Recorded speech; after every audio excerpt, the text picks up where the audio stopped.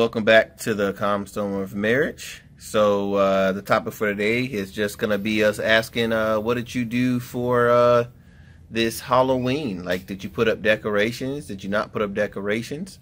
Um, we typically don't celebrate Halloween, but uh, we do celebrate the harvest. Yes. And so, um, as you can tell, my wife did some work, and uh, we're just gonna talk to her and see what really inspired this harvest of love. So, sweetie. Whoa, whoa, whoa, that's a bit close. hey, well, um, my inspiration came from the beautiful colors of fall. Um, I like sh the shabby chic look. Also like the country hometown look. I like to create looks that make you feel like you can just come in and sit down and have a good time and just take you away from the space you're at. Like when you walk into a space that I design, I want the person to feel like they're in a completely another world, a completely different space. So um, basically what inspired me was just a lot of the beautiful colors of fall. When I was young, I used to wear fall colors all the time because I felt like they complemented me well. Um, so I've always loved fall colors. But yeah, I also found some really, really good deals on some of the items here that I was able to purchase to complete this design. Still have a few more things to add, but um, quickly I'll go through it. The curtains are basically, um, I saw the curtains last, and when I saw them, I thought that I was like, I have to get them. They're really, really cute.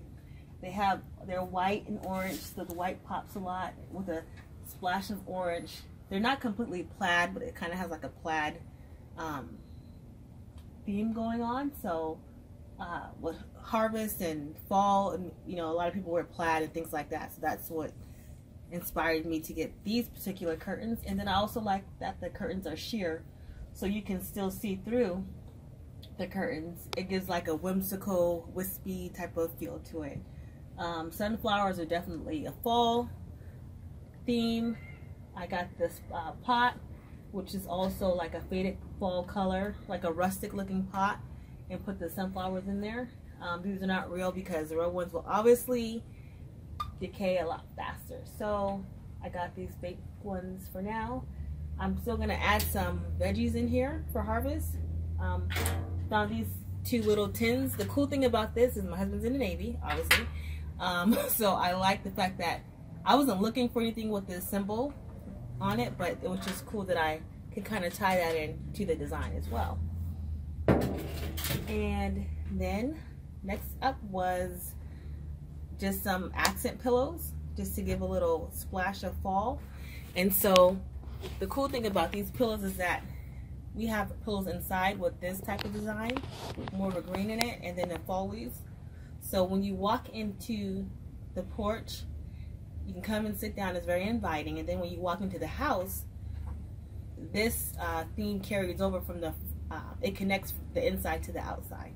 And the inside is definitely you definitely feel have feel like you're outside because of how I put leaves on the wall and the different swirl designs and things like that.